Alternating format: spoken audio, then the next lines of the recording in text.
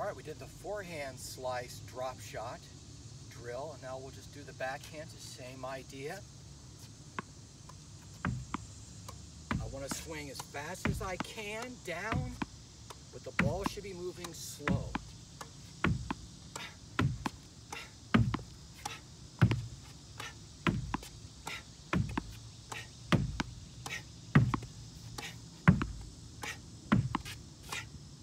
All right, now you don't have to go, eh.